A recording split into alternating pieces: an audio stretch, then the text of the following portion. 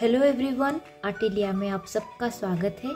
आज के इस वीडियो में हम बने कैलेंडर बनाएँगे। तो आइए देखते हैं हमें कौन सी चीज़ की ज़रूरत होगी।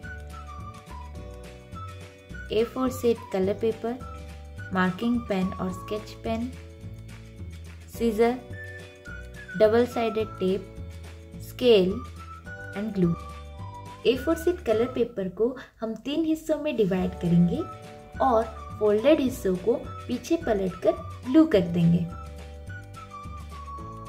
अब इस फोल्डेड पेपर को दो हिस्सों में डिवाइड करना है और फोल्ड कर देना है। फोल्डेड साइड से 11 सेंटीमीटर छोड़ के हम दो नाप लेंगे और इसको भी फोल्ड कर देंगे। अब इसी फोल्डेड पार्ट को एज में ग्लू अप्लाई करके एक दूसरे के साथ ज्वाइन कर लेंगे। यहाँ हमारी ट्रायंगुलर शेप की कैलेंडर होल्डर बन के रेडी हो गई है। लेवल बनाने के लिए हम एक और कलर पेपर का यूज़ करेंगे और इसका पतला सा सेट कट कर लेंगे। मार्कर पेन को यूज़ करके हम इस येलो लेवल पर एक क्लाउड ड्रॉ करेंगे। और उसके अंदर 2023 को लिख देंगे। मैं यहाँ पर कुछ ब्राइट कलर की मदद से 2023 को कलरफुल बना रही हूँ। आप चाहो तो ऐसे ही छोड़ सकते हो।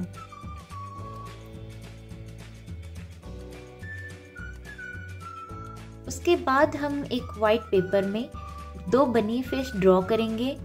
चाहे तो आप कलर भी कर सकते हो। मैं सिर्फ़ यहाँ पे कान और गाल को ही कलर कर रही हूँ। और फिर उसको काट देंगे।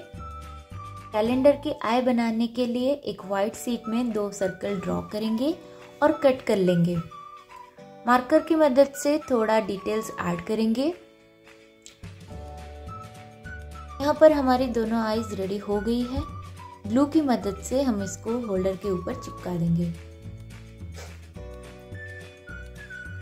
डबल साइडेड टेप को बीच में से काट कर लेवल को होल्डर पर लगा देंगे।